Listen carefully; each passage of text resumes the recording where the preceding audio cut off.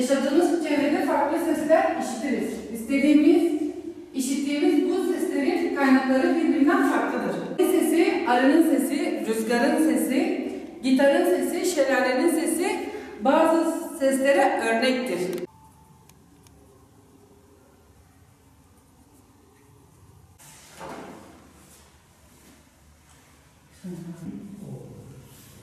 Seslerin sesin kaynağını görmesek bile tanıyabiliriz. Burası merkeze yaklaşık 2 saat mesafede. Kırsal bir kesimdeyiz. E, Okula ilk geldiğimde şöyle bir şaşkınlık içerisinde kaldım. Sadece bir öğrenci vardı. E, Daha önce e, ders verdiğim sınıflarda kalabalık yüzünden öğrencilere e, susun, oturun yahut da dinleyin gibi kelimeler çok sarf ederken burada e, öyle bir durum söz konusu değil. İsmail hani otur, gürültü yapma gibi şeyler tarzında çıkmıyor. Yani bana yaşatmıyor o durumları. Da tek bir öğrencinin olması e, İsmail için çok büyük bir avantaj. Çünkü birebir ders görüyor. Bu şekilde çok hızlı ilerliyor. E, çabuk anladığını, bir şeyleri çabuk kendine kattığını da görebiliyorum. Çevrede farklı sesler işittiririz diyor. Kaynakları birbirinden farklıdır. Özelde gördüğün gibi mesela helikopterin sesi, arının sesi, rüzgarın sesi, şelalenin sesi ve gitarın sesi. Ne diyor? Bize mesela kaldırımda yürürken havlama sesi duyduğumuzda yakınlarda bir yerde köpek olduğunu anlarız. İsmail derslerinde başarılı bir öğrenci. Ee, ben geldikten sonra çok şey kattığıma inanıyorum. Ee, daha öncelerde çok fazla bir e, eğitiminde eksiklik yaşandı. Bazen onlara misafirliğe gittiğimde takıldığı noktalarda orada da ben ona yardımcı oluyorum. Helikopterinin sesinin kaynağı helikopterdir. Rüzgarın sesinin kaynağı İsmail de. Biraz git. Salla. Onu değil, onun önündekini al.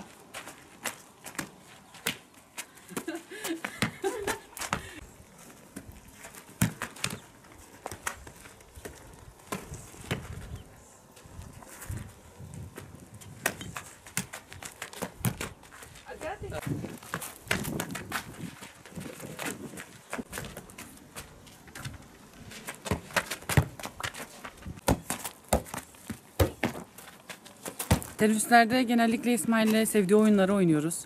Ee, tek başına bırakmamaya çalışıyorum sıkılmasın diye. Bu şekilde günü bitirmeye çalışıyorum. Ben öğretmenimi çok seviyorum. Öğretmenim benim arkadaşım oluyor. Top oynuyoruz. Ders işliyor. Burada arkadaşım olmadığı için öğretmenimle oynuyorum. Üşünmeyin diye öğretmenim bana soba yakıyor. Öğretmenim bana, hem annelik yapıyor hem de arkadaşım hem de öğretmenim. Bir tane keçim var. Eve giderken onunla oyun oynuyorum. Oluyor.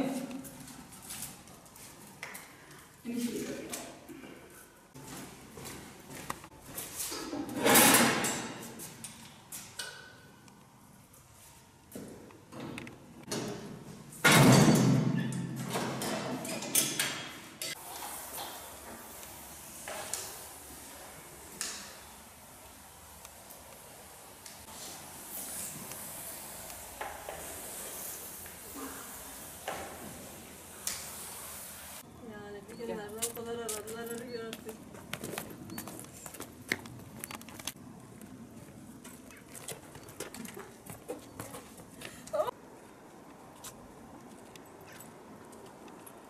Ay nasıl gidiyor ya?